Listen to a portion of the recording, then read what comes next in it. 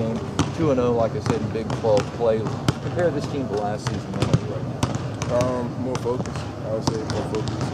Um, we know what's ahead of us. We know the goal is in front of us, and uh, we're ready to take it. We got to come together as a team, play as a team uh, tomorrow night, and uh, get the job done. Thanks a lot, Terry.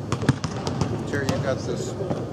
You guys know how good Oklahoma State is offensively. What is the? I mean, it's easy to say, okay, Marcus Smart and that's what makes them run. But if they got that other athletes, what is the key to slowing down their offense? Uh, play great team defense, one through five. Cause each, each, everybody's gonna have to guard somebody different than their normal assignment. So, uh, long on the same page.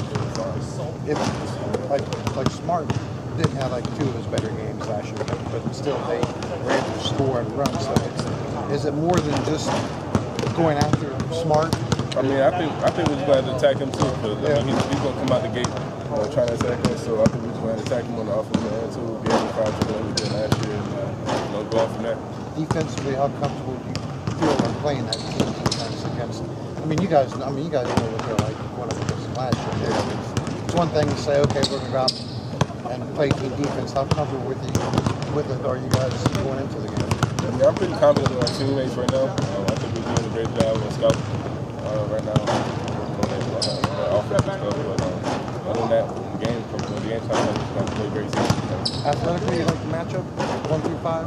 Yeah, I mean, we're, we're going to be doing some switching, and um, like everybody's going to to guard somebody different.